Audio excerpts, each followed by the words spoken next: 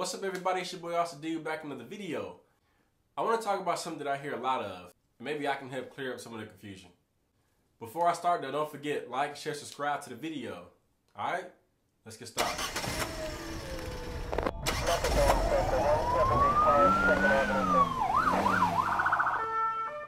Alright, so a question I hear a lot is, why do they gotta shoot so many times? And I get it. When you hear that somebody shot 14 times, in your head you're like, what the fuck? Like what in the entire like why so many times? I get it. And this video is not to convince you that every time you hear that that it's a justified thing that should have happened. That's not what this video is. But what I am going to try to show you is that we live in real life and this is not the movies. And that sometimes it takes shooting somebody more than twice. And in fact, most of the time it is what it takes. Like you see in movies frequently that somebody shot one or two times and they instantly fall to the ground, they just dead or they'll fall to the ground and they got those last like five seconds of like, oh, I'm going to miss you. Like that's not real life. That's not how it happens in real life. So unless you start getting robots to shoot people dead in the center of their head with 100% accuracy every time, that's just not realistic to expect every officer to shoot 100% accuracy every time they shoot. And if you have that type of expectation, there will be no cops. Yes, there are some cops that can shoot 100% on a qualification course, but put them in a real life situation where it's unexpected and see how well they shoot. To expect that out of every cop is a is not a realistic thing. All right. But I got a couple videos I want to look at. All right. This first video I want you to look at. Actually, all the videos. These are not to discuss actually what happened in the video. This is just to look at the action that the person that got shot, what they did after they were shot. That is all these videos are showing. Okay. All right. So let's go ahead and look at the first video. Get fucked out! Oh, shit. 37 headquarters, shots fired, shots fired. Oh, come on, come on. Back up, back up. 3137 headquarters. Come on, come on. Come on, buddy. Alright. Y'all just watch that. So this guy was shot in the chest and still got back up and fought. That goes to show you right there that shooting somebody one time is not enough to stop the threat. Like when police officers shoot, they shoot to stop the threat.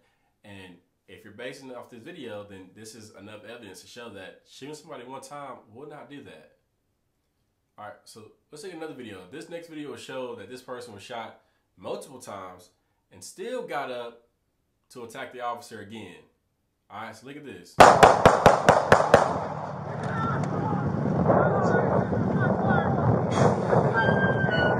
Hands behind your back! No! Get on the ground! Get on the ground! Shoot me! No! No!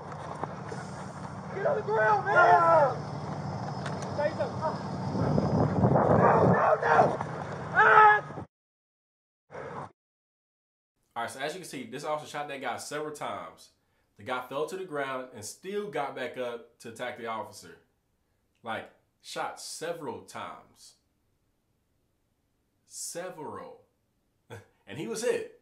Fell down, he's out bleeding, he still got back up and attacked the officer again. That is why police train the way that they train. They train to stop the threat. And shooting one or two times is, I mean, in some cases, it may stop the threat. And if it does, then yes, you stop shooting.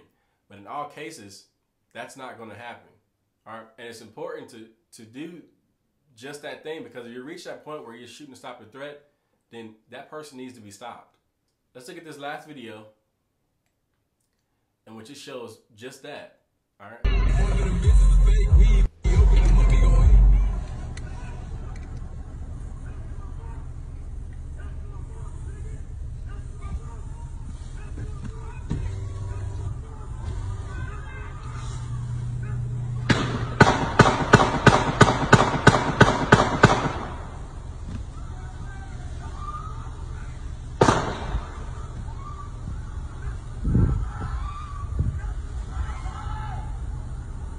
As you can see in this video, the person in this video had just assaulted that female. You can see him go, get the female, grab her by the hair, and is getting ready to assault her. Either assault her and shoot her in the end or do whatever. The officer fires several shots at that dude. Uh, to be exact, I counted 11 shots that he fired.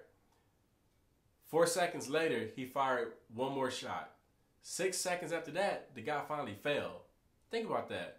Now, me just saying seconds doesn't seem like a lot, but you watch the video, that was a lot of time in between for that guy to decide to do something else. He was still up and walking.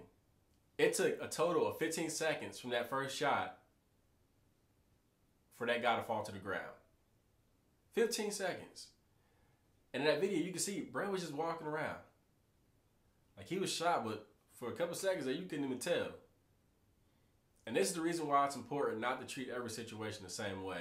Am I gonna sit here and tell you that I haven't seen videos where officers shot somebody way too many times? Definitely not gonna tell you that because I seen it.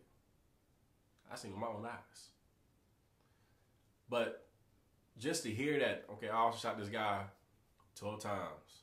And to be outraged because the fact that he was shot 12 times, not really what he did to get shot. I mean, if you're stopping a threat, that's just what you're doing. You're stopping the threat. One, two shots, is it going to stop it? All right. And these, most of these are shots to the chest for these people.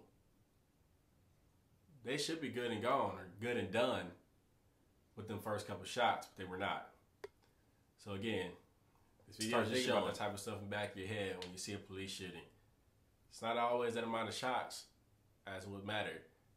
The point of the shooting was to stop the threat. All right, and that's however many shots it take. Unfortunately, uh, you you shooting at somebody and that person's still standing, they're still in the fight. If you're shooting at somebody and they're still standing, they're still in the fight. All right, so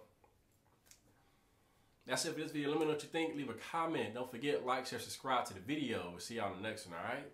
Adios.